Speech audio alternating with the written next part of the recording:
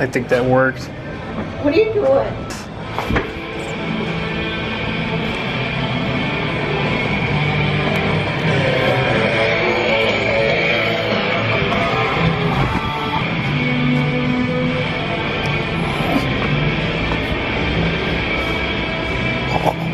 I figured out a way to mount this now.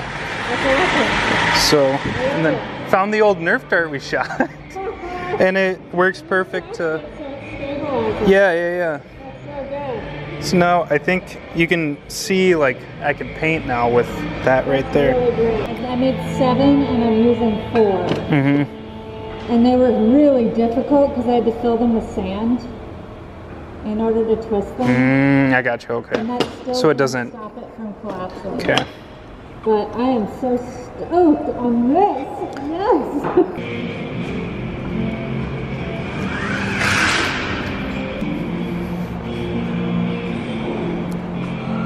It works.